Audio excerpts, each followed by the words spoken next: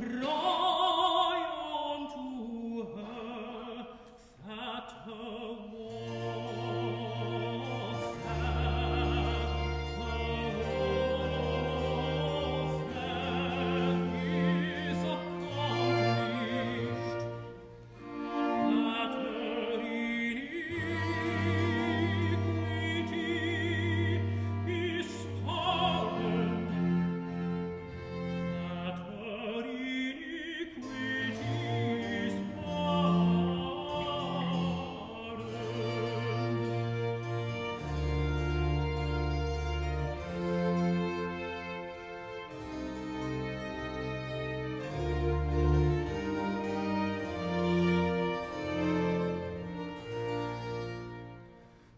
voice of him that crieth in the wilderness, prepare